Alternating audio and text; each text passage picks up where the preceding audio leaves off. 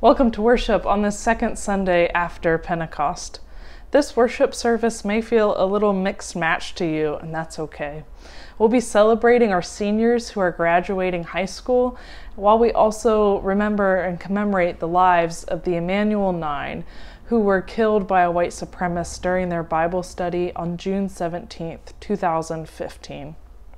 There is so much to ponder and sit with these days, and maybe your days feel like this worship service will feel, oscillating between grief and joy. Wherever you are today, in your emotions, you are welcome here. I invite you to this time of worship as we are led in a confessional litany by leaders from the Northwest Washington Synod.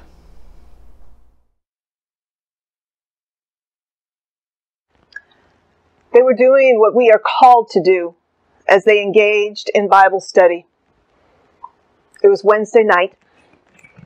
A stranger walked in, and these people welcomed him and prayed together. The Reverend Sharonda Coleman Singleton, Cynthia Marie Graham Hurd, Susie Jackson, Ethel Lee Lance, the Reverend DePayne Middleton Doctor, Tywanza Kibwe Diop Sanders, the Reverend Daniel Lee Simmons, the Reverend Myra Singleton Quarles Thompson, and the Honorable Senator and Pastor of the Church, the Reverend Clementa C. Pinckney this stranger wanted to ignite a race war, he said, after he shot and killed them, denying them the very humanity he claimed for himself, claiming rights and privileges associated with whiteness. Now we are grieved, once again in pain, burning and anguished, lamenting the horror of evil unleashed. And so we cry out, Have mercy, O God, have mercy on us. Sorrow and heartache have come to us.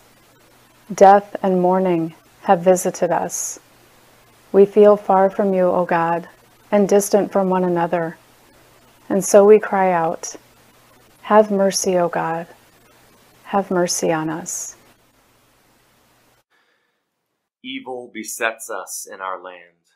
We acknowledge that our nation is socialized in ways that promote and normalize colonialization. We cry out against the horrors and agonies of racism, and so we cry out, Have mercy, O God have mercy on us.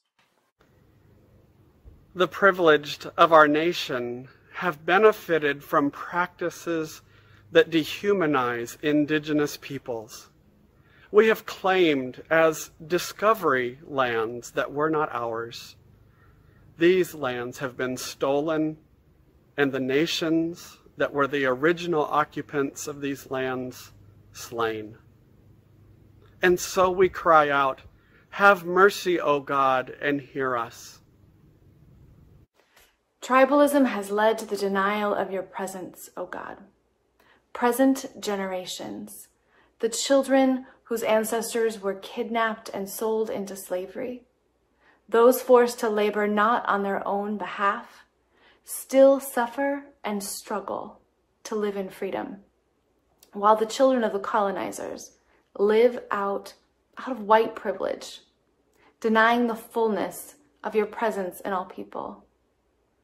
And so we cry out, Have mercy, O God, have mercy on us. assaults born of greed and murder continue propping up white privilege that is institutionalized in our church and nation, preventing us from recognizing the twin evils of racism and nationalism still perpetuated among us. And so we cry out, Have mercy, O God. Have mercy on us. Open our eyes, O God. Open our hearts. Open our ears, O God. Open our minds. Help us to behold one another as you behold us. Help us to be more firmly rooted in the practices of the gospel so that when we pray, the way we live will make real the dream of your beloved community within and among us. And so we cry out, Have mercy, O God, have mercy on us. With the help of your mercy and grace, lead us to think, believe, and change. May your gospel's transforming power, by the working of the Holy Spirit, be present in us, in our churches, in our nations, and all the people of the earth. And the people said, Amen. Amen.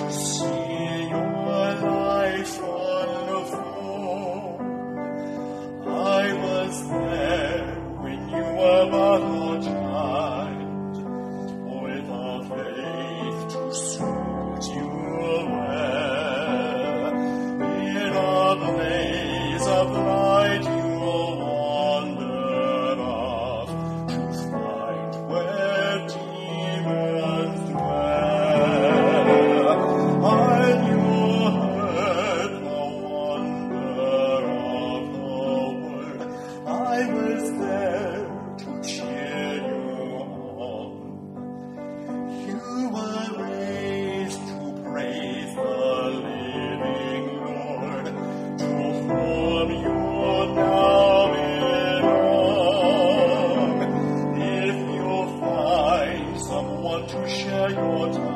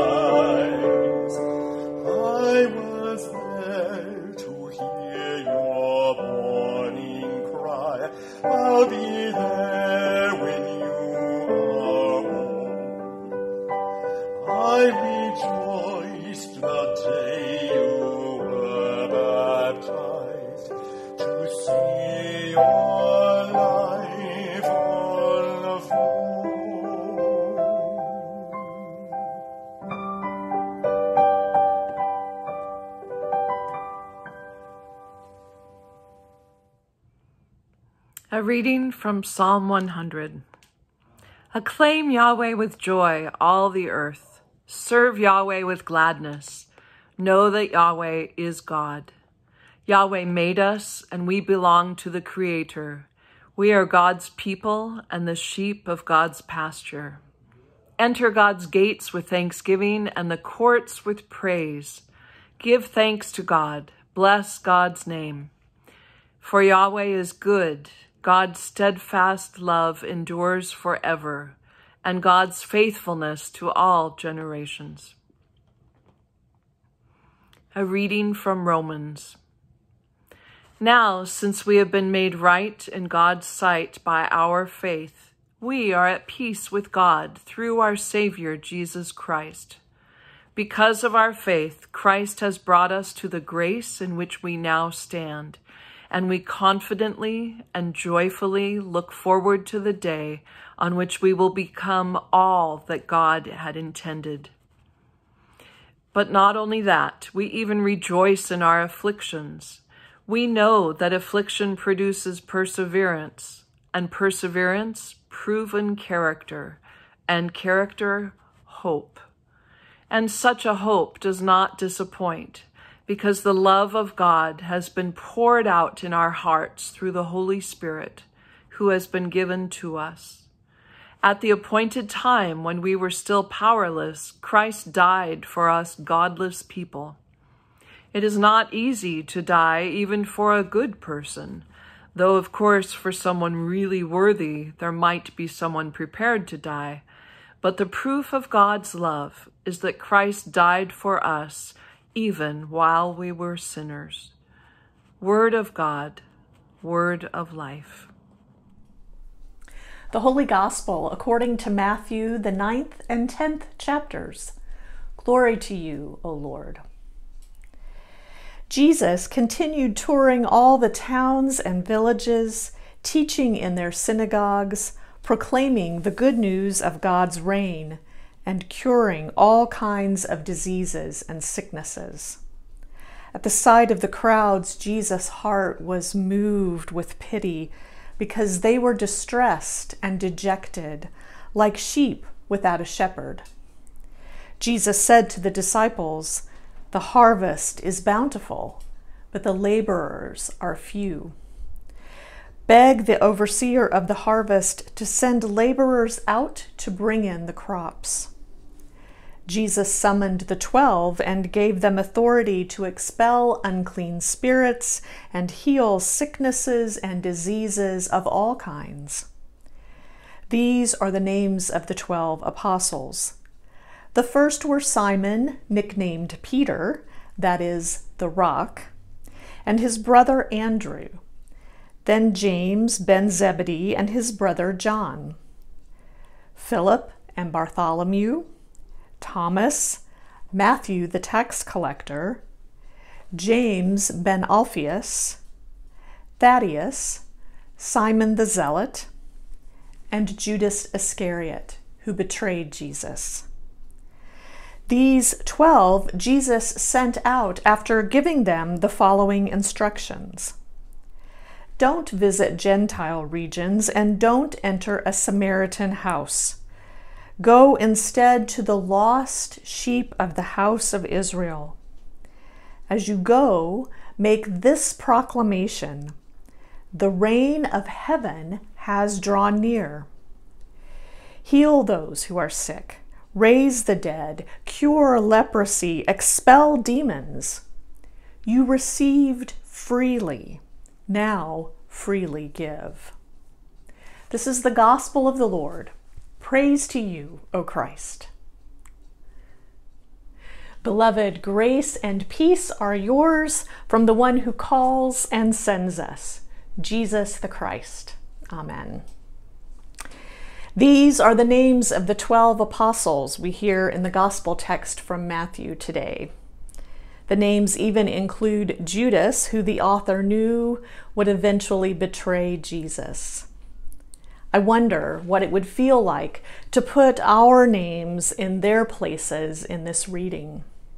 To hear about how Jesus went about all the cities and villages, teaching and healing and preaching, and finally feeling absolutely sorry for this vast crowd because they were harassed and helpless, like a sheep without a shepherd.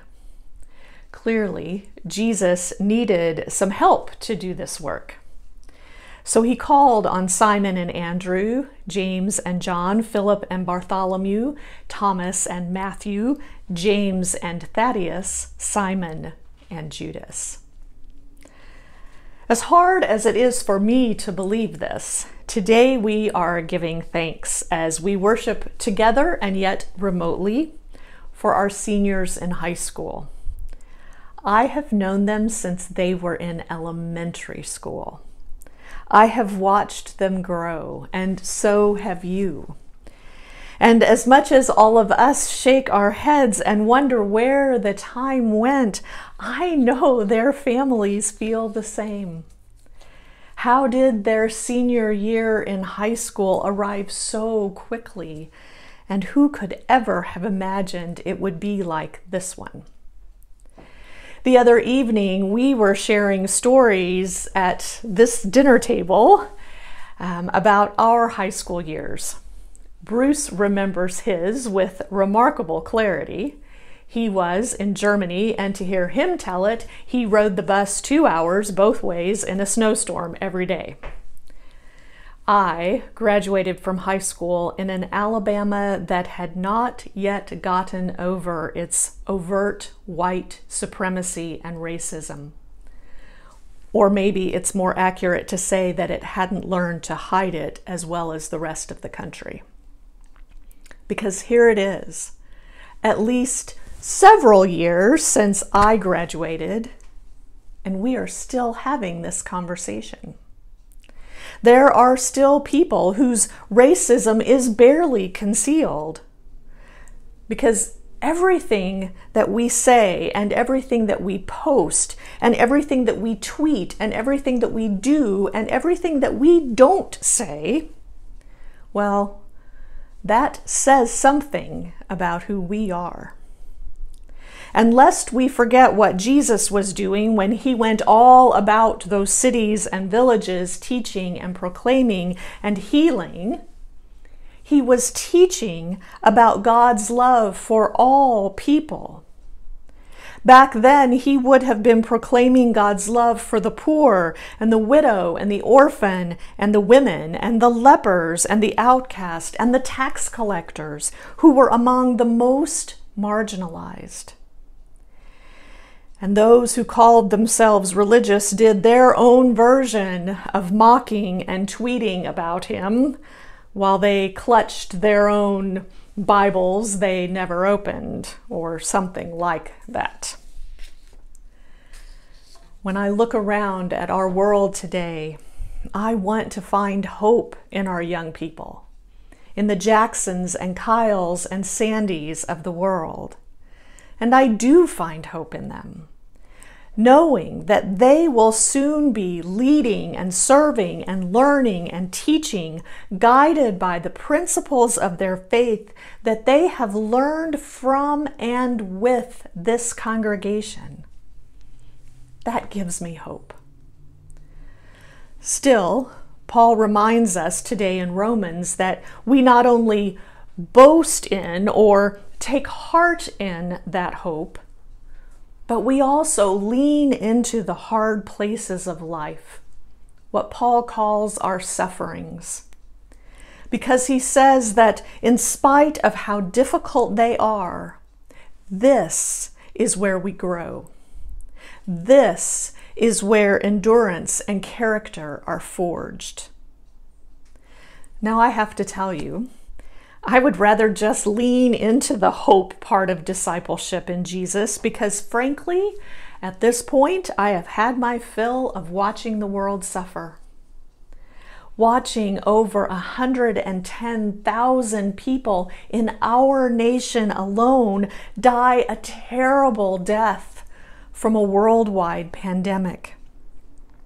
Watching unjust police kill people because of the color of their skin watching the cities we love burn because it seems to be the only way that anyone will pay any attention.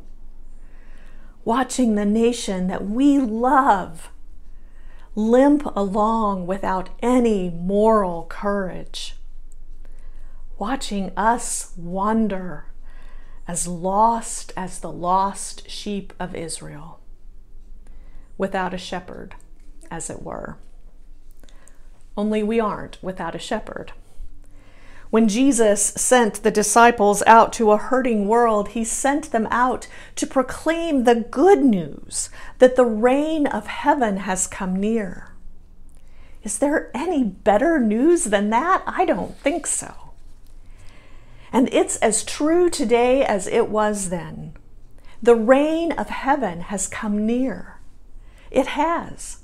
And it is ticked off. It is demanding justice like Jesus preached. It is demanding equality like Jesus modeled at every turn. It is demanding an end to every wicked and evil thing that defies God. When Sandy and Jackson and Kyle were baptized, and at every baptism that has taken place in our beloved sanctuary, we stood. We stood as one for the ancient renunciations of evil. We answered three questions by proclaiming, I renounce them. Now, I know we aren't together, but beloveds, we need to do this again today. So, wherever you are, we are going to revisit these renunciations. I am going to ask you those questions again. And from wherever you are, I invite you to proclaim boldly. Stand up if you must, and proclaim boldly, I renounce them. And so, people of God, do you renounce the devil and all of the forces that defy God? I renounce them. Do you renounce the powers of this world that rebel against God? I renounce them. Do you renounce the ways of sin that draw you from God? I renounce them.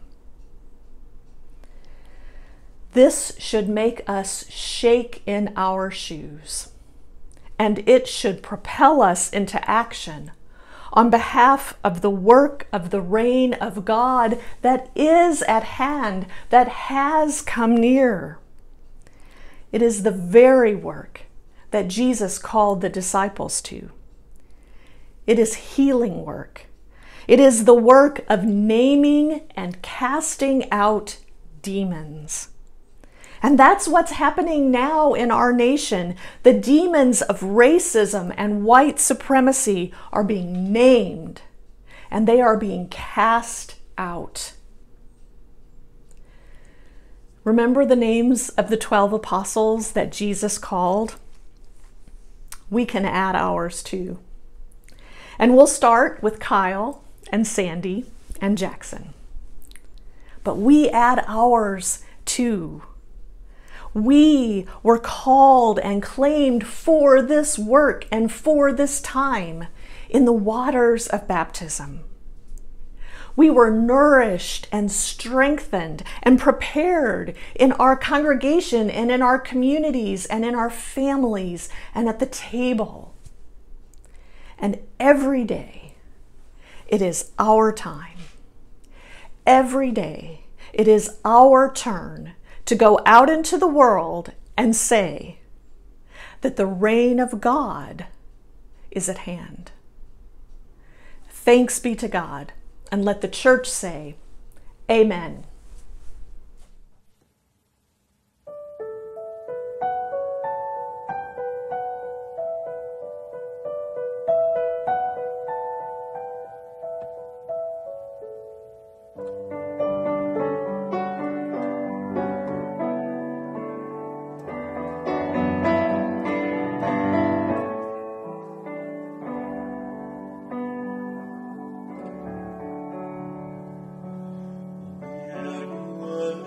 eternity.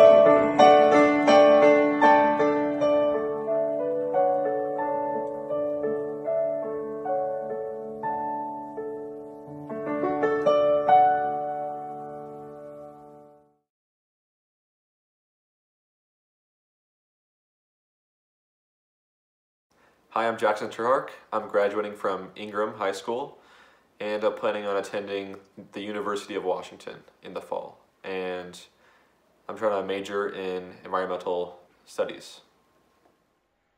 I'm Kyle Goff. I'm graduating from Nathan Hale High School. I plan to study music education at Pacific Lutheran University.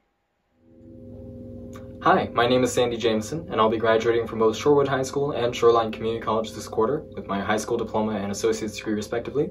This fall, I'll be attending the DigiPen Institute of Technology, which is in Redmond, and I'll be majoring in computer science and real-time interactive simulation. Real-time interactive simulation is a really fun and interesting field that covers things like video games and movies, but it also ranges into things like medicine, where if you're a doctor and you've just taken an MRI, some way to interact with that data that you've just collected uh, can be really helpful. So I'm very excited and I can't wait until fall. And now we're going to offer a word of blessing for Jackson and Sandy and Kyle. And so the three of you, I invite you to um, stand or have your families gather around you and put their hands on you in blessing. The rest of us, as from wherever we are, I invite you to extend your hand in blessing as we do when we are physically together. And I invite you to hear and receive these words. In the beginning, God knew you. While in your mother's womb, God named you beloved. At your birth, God's breath filled you with life. And today we celebrate what you have become at this moment in time and so we pray. God of our beginnings, we thank you for the gifts of these graduates, for Jackson and Kyle and Sandy, for their excitement, for their wonder, and for their curiosity, for their open speech and their encouraging words. Their contributions have blessed and challenged us, and we have become a richer and more diverse community because of them. As they step forward into the world that awaits, comfort their fears with the full knowledge of your divine presence strengthen their resolve to walk in the footsteps of Jesus as disciples and peacemakers and justice seekers in a world that needs their spirit. Guide their feet as they walk through life, protecting them from the forces of evil, while they help to lead and form a new world into the warmth and promise of your reign. We ask this blessing upon each of them in the name of the Father and of the Son and of the Holy Spirit, parent of us all. Amen.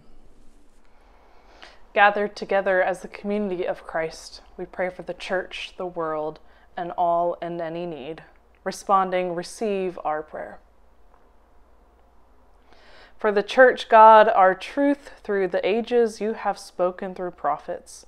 Stir up in your church a passion for your word revealed in Jesus, that following the witness of the Emanuel Nine, your church studies the scriptures, shows hospitality, prays without ceasing, and embodies prophetic justice and community. Embolden church leaders and all the baptized to remember the lives of the nine, repent of racism and white supremacy, and renew our commitment to your word revealed most fully in Jesus, our way, truth, and life. In your great mercy, receive our prayer. For the nation's mighty and loving God, we pray for our nation and the plague of racism that threatens, destroys, and kills. Root out white supremacy wherever it takes hold. Release its grips on those lured by its false promises. Bring to repentance all who continue to benefit from prejudice and hatred, both hidden and revealed. Plant in our hearts and nation a willing spirit, open to truth telling and healing. In your great mercy, receive our prayer. For those who are oppressed and victimized, Emmanuel, God with us, you embrace and love those who cry out to you. Lift up all whom hatred has cast down Embolden those who need courage to speak and act against oppression. Sustain those who are weary from efforts that bring no end to injustice. Comfort parents weeping for children, children who have been separated from parents, and families in crisis of any kind. Restore hope where it has been lost, so that all may trust your love that reaches to the depths of pain and suffering. In your great mercy, receive our prayer. Thanksgiving for the saints, we give you thanks, Holy God, for the faithful life and witness of Clementa, Cynthia, Daniel, DePayne, Ethel, Myra, Sharonda, Susie, and Tywanza, the Emanuel Nine. May their faith and witness to your forgiving love in Jesus Christ inspire all people to pursue paths of justice, courage, and self giving love. In your great mercy, receive our prayer. All these things that we ask, O God, and whatever we fail to ask, we entrust them to your care. And let the church say, Amen. We are bold to pray together. Our Father in heaven, hallowed be your name. Your kingdom come, your will be done, on earth as in heaven. Give us today our daily bread. Forgive us our sins as we forgive those who sin against us Lead us not in temptation, but deliver us from evil. For the kingdom, the power, and the glory are yours, now and forever. Amen.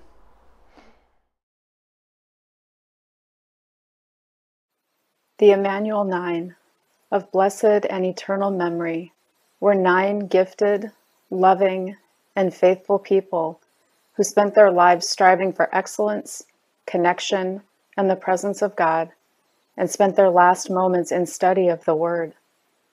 They leave a legacy of grace, resistance, family, and faith. Gracious God, in remembering their lives and witness, we are called to a wider understanding of the Spirit's work in the world. Creatures, open to us and receive the good news of Jesus Christ. They were students, kindle in us a desire to learn and grow in our ways. They were teachers. Instill in us a passion to share the wisdom of Christ. They were coaches. Accompany us as we strive to run the race set before us. They were mentors inspire us through the wise counsel offered by others. They were leaders, embolden us to seek out the best in others. They were musicians, attune us to the sounds of your creation. They were poets, reveal your truth in language we have yet to discover. They were barbers, shape us as attentive caregivers to those around us. They were custodians, protect those whose work ensures our safety. They were bus drivers. Carry us with compassion on life's unexpected journeys. They were veterans. Remember those that risk harm for the sake of others. They were librarians. Write on our hearts and minds the wisdom of the generations. They were advocates Call us to speak and act on behalf of those who are silenced.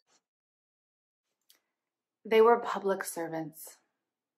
Help us to love our neighbors as ourselves. They were legislators.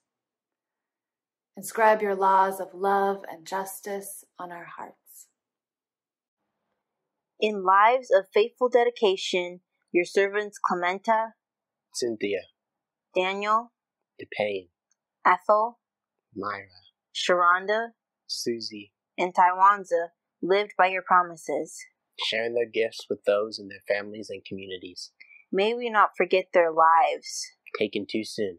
In the years to come, let us share their names and their witness, so that the world comes to know of your Spirit at work in and through them. We ask this in the name of Jesus.